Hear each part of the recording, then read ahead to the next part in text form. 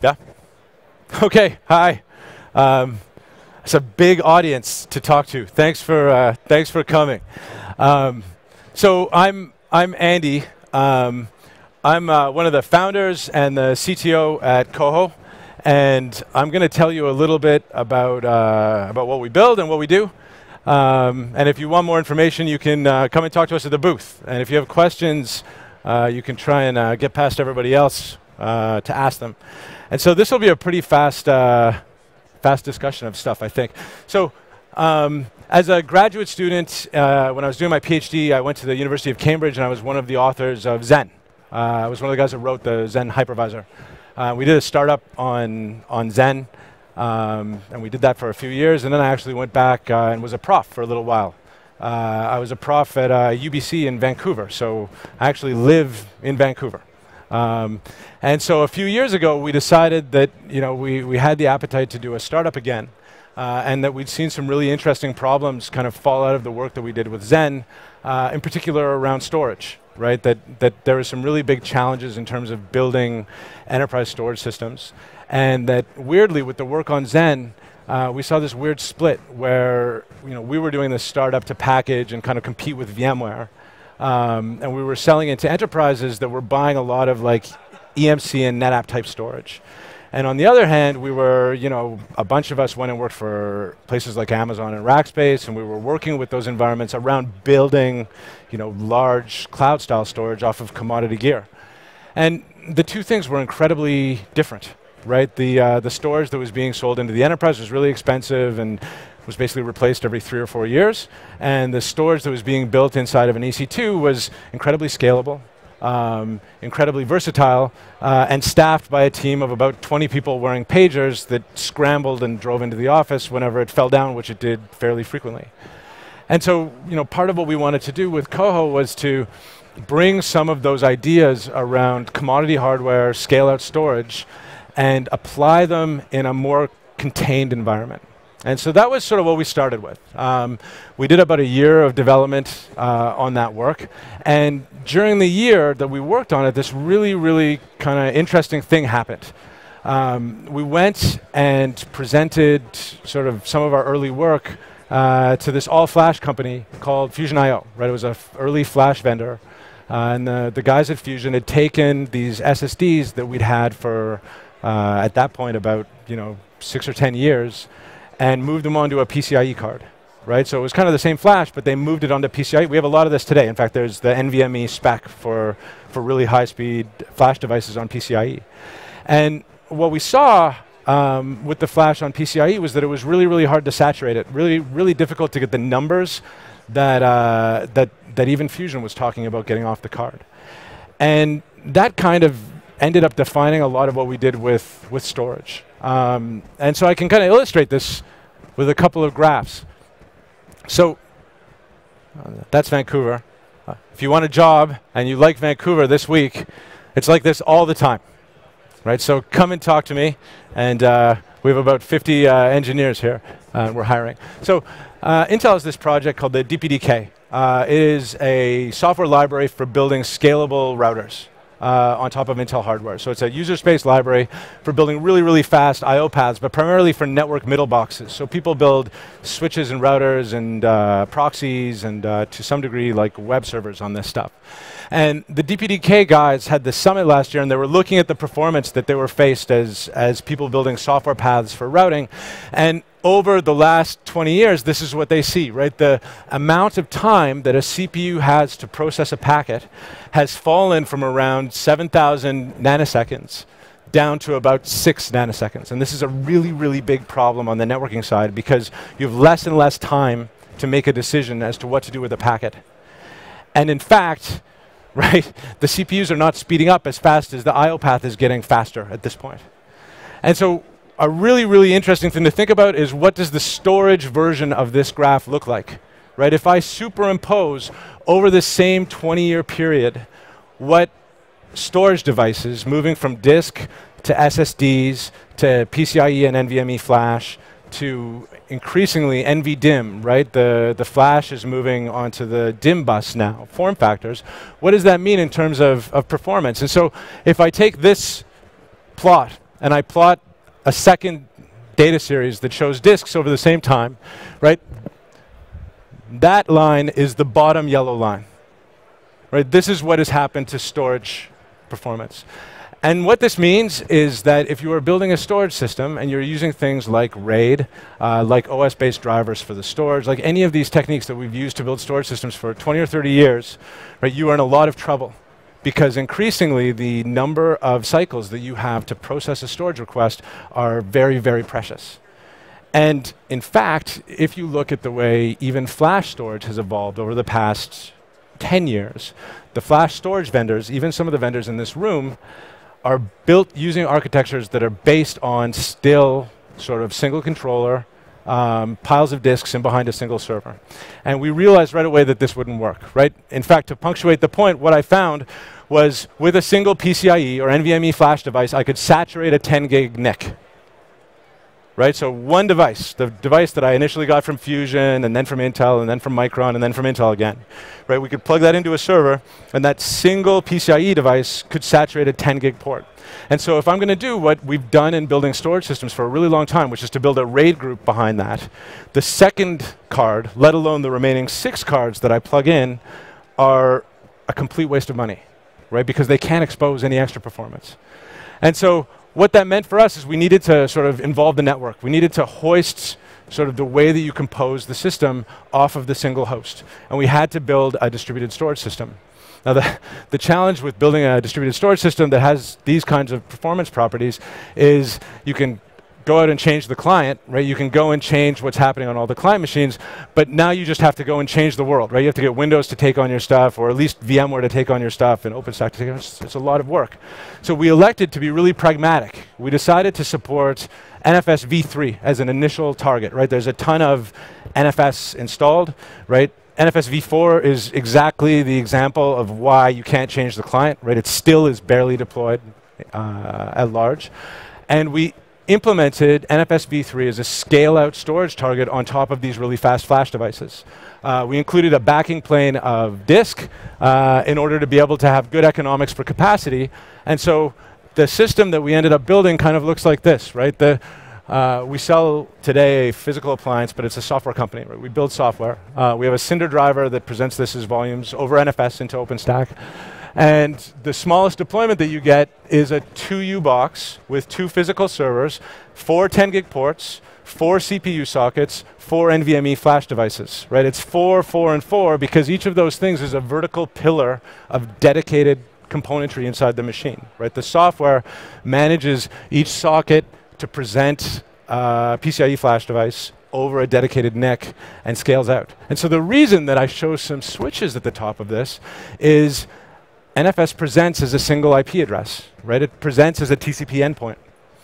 And TCP does not scale out particularly well across a whole bunch of endpoints, right? It's hard to get active-active use of links across a whole bunch of ports. And even in a single 2U deployment, I have four of those links.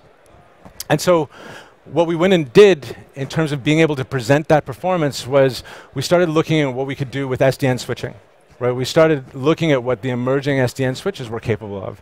And we ended up bundling a 10 gig Tor.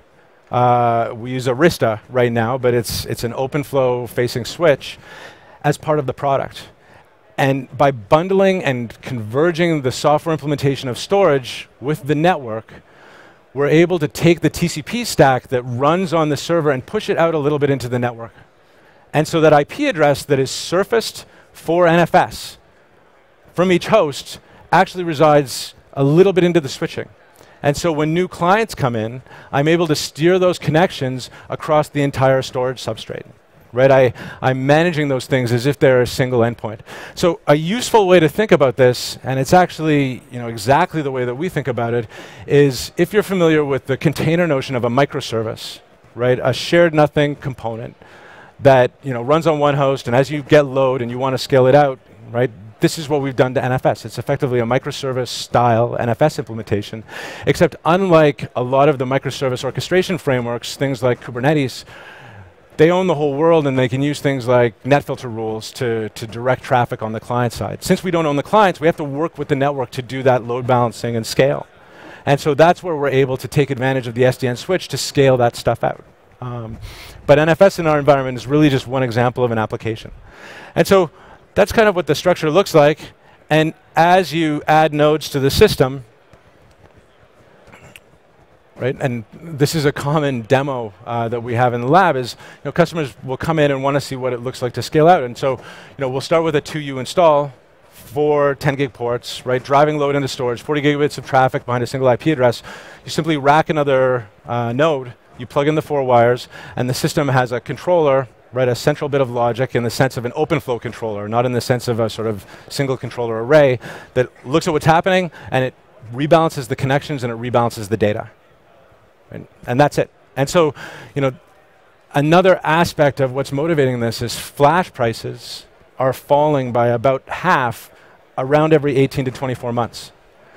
And so the motivation for building a scale-out system is partially being able to expose the performance, but it's also partially being able to allow our customers to only buy the flash they need, right? And grow that over time rather than committing up front to three or four years worth of flash, which is what they've had to do in the past with storage products.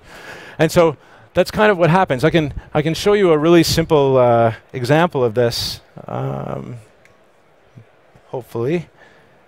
Uh, let me see. Not that one. This one. So, I mean, I, I I don't generally, uh, it's, it's really been fun to be at OpenStack, but this isn't really a customer event for us for the most part, right? None of you buy anything. Um, right, for, for, for me, um, this is a really great opportunity to talk to people in the community, right? We been meeting with people around our Cinder driver support, uh, and as a hiring opportunity especially, right? There are lots of really great developers here. And so if you'd like to come and talk about work with us, I'd be happy to do that. We do a lot of really cool stuff. Um, if you do want to buy stuff, I'm happy to talk about that. But you know, this is kind of where I'm coming from. So if you have questions about this, come and talk to me. And what I'm going to show you is something that we don't usually go through with customer sort of pitches, but it, it kind of illustrates some of the cool stuff that's happening inside the product. And so in a SDN OpenFlow application case, right? The way that a Google or a Microsoft, for example, have used software-defined networking is, you know, they own largely homogeneous network environments uh, with big wide area networks, right, that span data centers around the world. Uh, Google and Microsoft have both publicly talked about how they use SDN because the internal aggregate network traffic is significantly higher than the sum total of all of their external network-facing presence right? They, they do two or three times as much internal traffic as they do outbound traffic. And so there's a really, really big need to coordinate flows, especially on the more scarce wide area links between sites.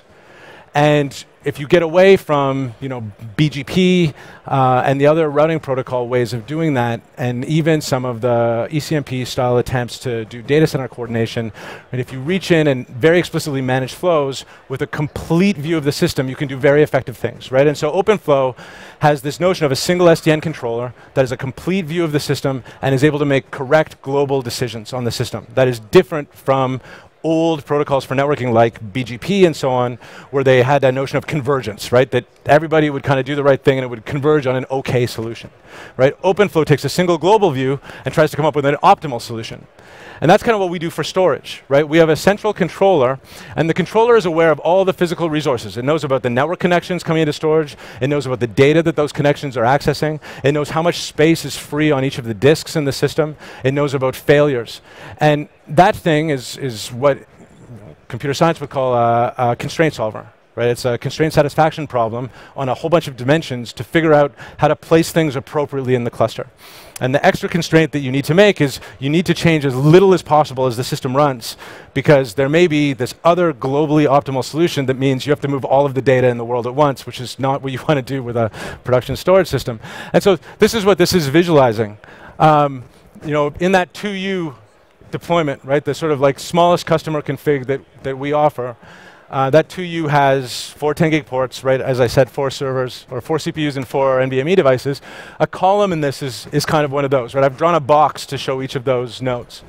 And rather than starting at the bottom and doing RAID or doing some kind of like erasure code, hash, and spray, we explicitly place big chunks of data in the system, and we explicitly manage that placement over time. We kind of view the storage system as a, as a NUMA from an OS perspective. And so if I look inside here, this is, this is a VMDK, right? This is a, an image file in a VMware environment. And there's a policy on how the data inside that is, is forwarded and placed. Right, so in this case, I've, I've striped it into eight stripes, and I've divided each of those eight stripes into two replicas. And the system has a sort of forwarding notion of how this data is placed. And what that means is when I change the environment, whether that change is performance-based or you know, failure-based or expansion-based, I can make a decision as to how to deal with it. And so, for example, if I look inside this node, right, there are a bunch of chunks in here that are spread across nodes in the other failure domain of the system, right? We, we pairwise have CPUs on a shared power supply, and so we never want to replicate across that. And so we divide the system into failure domains. If I fail this node, right, all of the nodes that have backed up replicas here are capable of participating in the failure response. And so when you fail this, what you see is the controller thinks for a second, and then it organizes and arranges background migrations of data to recover the constraint on replication. Right? Similarly, if I come to this cluster and I add an additional node, the system realizes that there's become an imbalance in terms of the capabilities of the nodes, and it, it places data and it migrates connections to expose the new capability. And so one of the things that we're able to really clearly demonstrate with the system is you can start with this 2U, that it's exposing 40 gigabits of NFS traffic behind, weirdly, a single IP address on 10 gig ports. You can plug in a second box, and as the system rebalances, you see the offered load increase to 80 gigabits. Right? So it's not just that you're adding capacity, you're adding performance to the system as it grows. And so this is kind of the crux of what we do. Um, we've recently, uh, yesterday, announced our third round of funding. We just raised uh, additional $30 million, uh, so we're here for uh, a while longer. Uh, we announced an all-flash version of this, uh, of this product that, that does 320,000 IOPS in 2U of space, and importantly, can be installed next to the existing system. So you can choose to purchase and expand performance or capacity right, independently. This is something that you can't do with other systems. And uh, we've begun to do a bunch of uh, prototyping work where we're actually absorbing new facilities alongside NFS into the platform uh, in terms of additional protocols and actually additional services directly mapped onto the data. Because the core of this isn't so much a scalable NFS system, it's a scalable network clustered front end and a scalable I.O. backend for data, right, with arbitrary applications running in the middle. And so, anyways, uh, I think I'm just about out of time. Um, thanks for coming and listening. Uh, if you're interested in staying in Vancouver in this beautiful weather, uh, past the end of this week, uh, we're just at the booth around the corner there. Uh, and I'm also happy to sell you some storage if you want to do that too. Thanks.